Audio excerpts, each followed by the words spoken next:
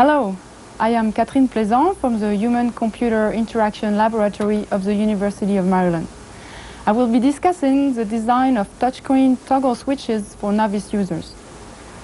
Toggle switches are those buttons, levers, sliders that allow us to directly turn on and off lights, radios, TVs, and any other type of devices. Computers now allow the design of new type of toggle switches However, there are still many inadequate designs that can be found in existing systems. For example, here, it is quasi impossible to say what the status of the toggle is. On, off, nobody is really sure. Here, the box is a good clue. But this shows a classic problem. I don't really know if the box around the on indicates that the device is on, or if the box indicates where to touch to turn the device on. Another problem is to, that the toggle has to be identifiable as a toggle. Is this just a label or is it a toggle? If I touch quit, I'll probably quit. So if I touch on, the device might turn on. Or is it already on? Those are the type of problems encountered by novice or first-time users, and we wish to address those problems in our designs.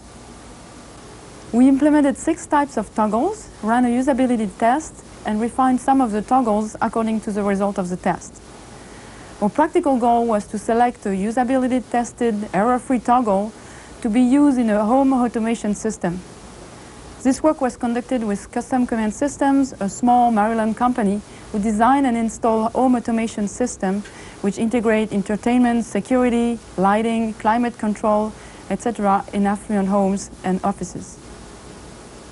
In the house, the homeowner sees the screen flush mounted in the wall or in the cabinetry.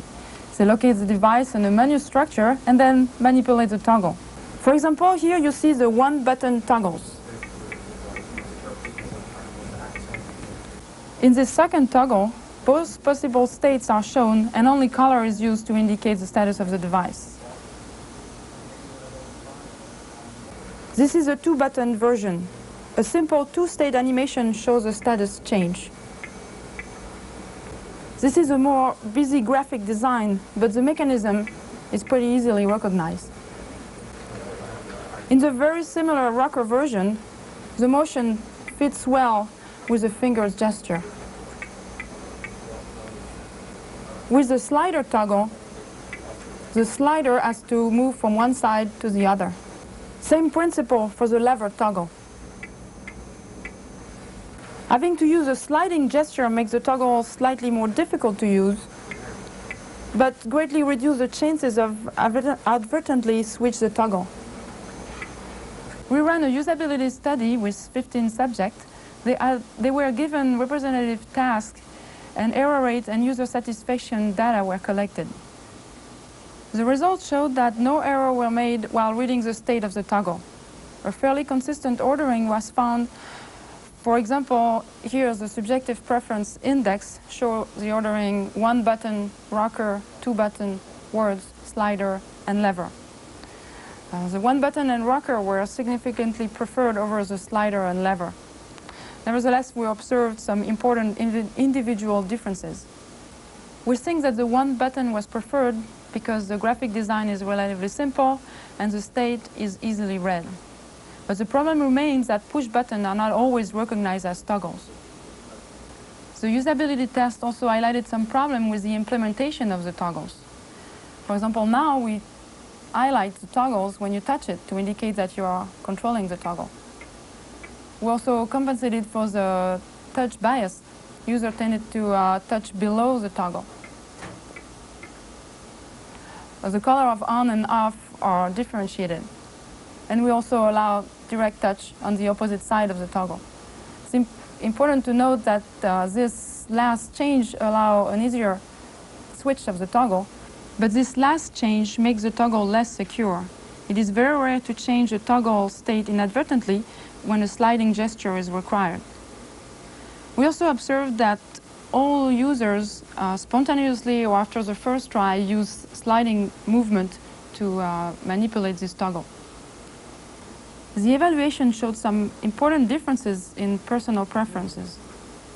And we found it difficult to recommend a single design. We think that toggles are good candidates for user customization.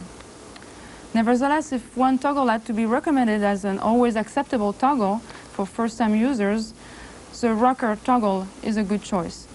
It is immediately identified as a toggle, the state is always read, read properly, and it was found easy to manipulate, and the 3D design was also found attractive. The refinement we made were to uh, use different color for on and off to allow reading without actually reading the label, and also to allow sweeping through all the toggles. This study showed that there are important differences among the alternative designs. We provided examples for practitioners to follow and describe refinements. Potential research topics include the use of toggle under stress, the study of combinations of toggles, and multiple state switches. Thank you.